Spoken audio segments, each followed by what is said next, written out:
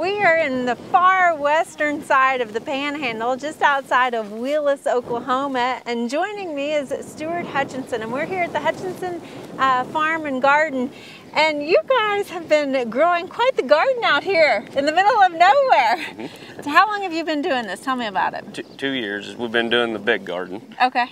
And you grow not just for your family, but for a lot of other people around yeah. here. Mm -hmm. Yes.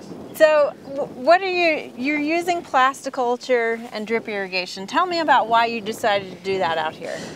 Uh, because we was using sprinklers before and they wasn't getting the water down that we needed and, and it growed weeds everywhere and wasn't making a good enough garden. Yeah, so the plasticulture obviously helps with control the weeds a little bit, reduces some of the yes. uh, evaporation and, mm -hmm. And you have a little bit of wind out here. We do.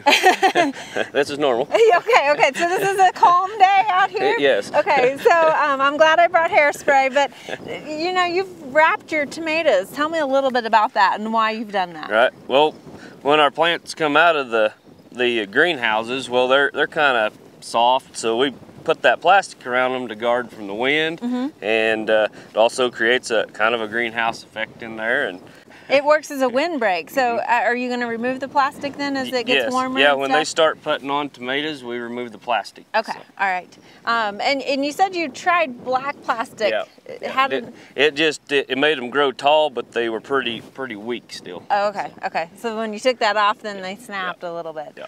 Now, this is interesting. Being from central Oklahoma, we don't typically think of staking pepper plants.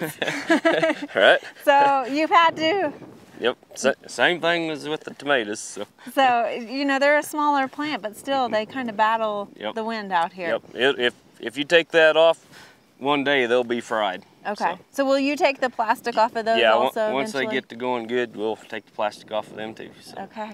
Well, you've got quite a garden, and, and how long does it take to maintain this size garden? well, it, it, I don't know, we do work on it every day, so. Yeah. Uh, you don't keep track of the hours. Really, no. but but you were saying you sell to a lot of people. What is kind of your area that you sell to out right. here? Well, we'll we'll reach Boise City and Clayton, New Mexico, and Dalhart, Texas. All right, so you are a tri-state gardener. well, Stuart, thank you for sharing your garden with us, and we enjoyed being out here. All right, thank you.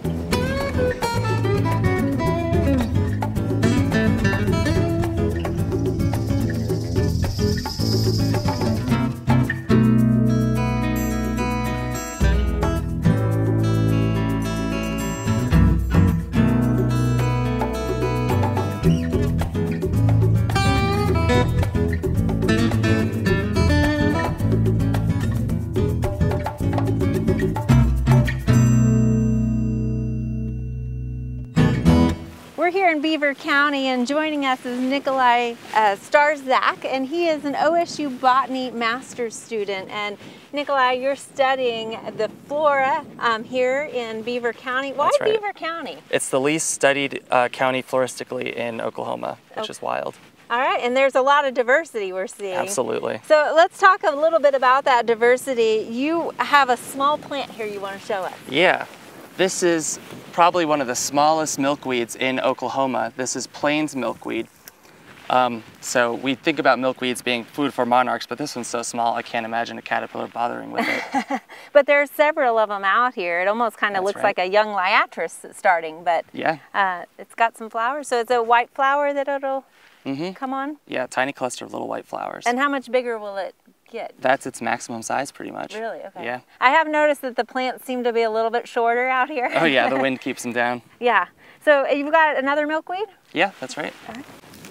Before we get to the other milkweed, I want to ask you about this yellow flower here. Color yeah. kind of grabs your attention out here. What, Absolutely. what is this one? This is plain zinnia, Zinnia grandiflora. It really likes hard, packed, sandy soil, so it just forms these clumps, and I think it's really, really beautiful. Beautiful. Of course, y'all did get some rain last night, so. Yeah. uh, here's our milkweed. This is Asclepias latifolia, that's the broadleaf milkweed. Uh-huh. So just a major contrast that little plains milkweed. It's yeah. got big sprays of pink to green flowers. And very opposite leaves. I mean, looking down on it, it almost looks like a, a box, really. Yeah, definitely. So do you know about whether caterpillars are enjoying this? Yeah, every time I see these, there's always something nibbling on them. All right.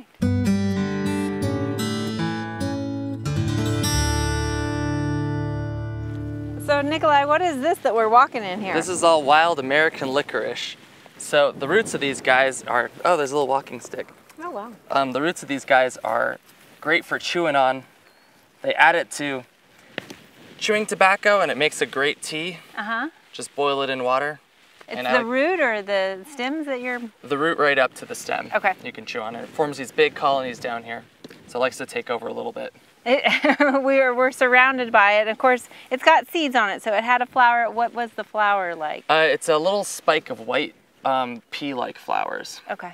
Mm-hmm. In the legume family. Yep, All right. definitely. So this has a flavor. I'm not really tasting the flavor to it. Tastes a little wild, but it's great for road trips. I'd rather just regular licorice, I think. so we've got a, quite a mass of it. This was a disturbed site that Mhm. it's kind of taken off on. Yep. Um, and there's one other one up here that I recognize. This is Dodder. Maybe you can tell me a little bit about it here, though. Yeah, so Dodder is a parasitic vine uh, closely related to morning glory. And it actually, it can smell the different plants around it, and so it prefers which ones it thinks will make a better hold as it climbs up. And it attaches to the stem and sucks up the nutrients. So you can see it's not green, so it's not getting anything from the sun. So it d- can't produce any chlorophyll on its own, and so it really is a parasitic plant that Exactly. it's stealing from these nearby plants. Yep, So if you have this in your in your landscape or anything, it's one to go ahead and get rid of. Yeah. It'll it'll take over, right? I mean, it gets pretty large. yeah, I think it's cool looking, but It is, and it's our favorite color, orange. well, Nikolai, thanks for sharing with us all the diversity, and uh, it's good to know that somebody's documenting all of this. yeah, thank you so much. We hope you enjoyed this video. It's part of our Oklahoma Gardening YouTube channel. You can also find even more videos on our OK Gardening Classics YouTube channel. And join us on social media for great gardening tips, photos, and discussion.